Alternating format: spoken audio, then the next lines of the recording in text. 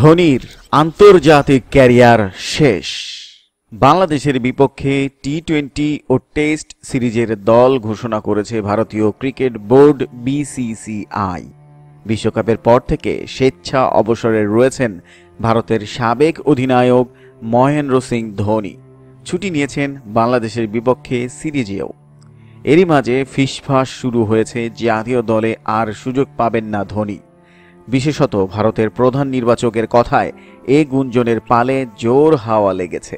বাংলাদেশের বিপক্ষে দুই সিরিজের দল ঘোষণার পর সংবাদ মাধ্যমে কথা বলেন টিম ইন্ডিয়ার প্রধান নির্বাচক এম এস কে প্রসাদ।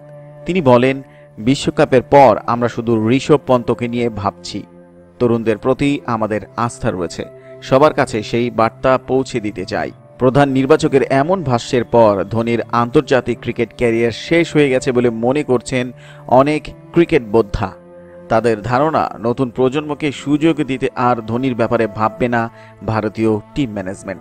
বৃহস্পতিবার বাংলাদেশের বিপক্ষে টি টোয়েন্টি ও টেস্ট সিরিজের দল ঘোষণা করেন এম এস কে প্রসাদ। এ সময় তাকে ধোনির ব্যাপারে কমপক্ষে চারবার প্রশ্ন করা হয়। সাংবাদিকদের প্রশ্নের জবাবে ক্যাপ্টেন কুলকে বিশ্রাম বা বাদ দেওয়ার কোনোটিতেই নির্দিষ্ট করে বলেননি প্রসাদ, বরং একটু ঘুরিয়ে উত্তর দিয়েছেন তিনি। প্রসাদের কথায়, বিশ্বকাপের পর আমি স্পষ্ট করে দিয়েছিলাম, আমরা সামনের দিকে তাকাতে চাই। তাই তরুণ খেলোয়াড়দের সুযোগ দিচ্ছি, যেন তারা দলে নিজেদের জায়গা পাকাপোক্ত করতে পারে। ঋষভ পন্ত ভালো করছে, এছাড়া ব্যাকআপ উইকেট রক্ষক সঞ্জু স্যামসনও নিজেকে তৈরি করে ফেলেছে। আমি নিশ্চিত আপনারা আমাদের পরিকল্পনাটাও বুঝতে পেরেছেন।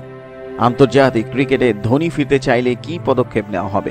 এমন প্রশ্নের জবাবে মাহির কোর্টেই বল ঠেলে দেন প্রসাদ। তিনি বলেন, এটা পুরোপুরি ধোনির ব্যক্তিগত ব্যাপার। সে যা চাইবে তাই হবে।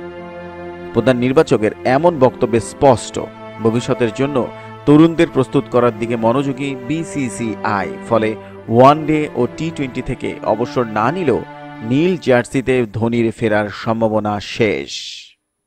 ডিয়ার ভিউয়ার্স ভারতীয় ক্রিকেটের সর্বশেষ সংবাদ জানতে এখনই আমাদের চ্যানেলটি সাবস্ক্রাইব করুন এবং আমাদের সংবাদ সবার আগে পেতে বেল বাটনে প্রেস করে রাখুন।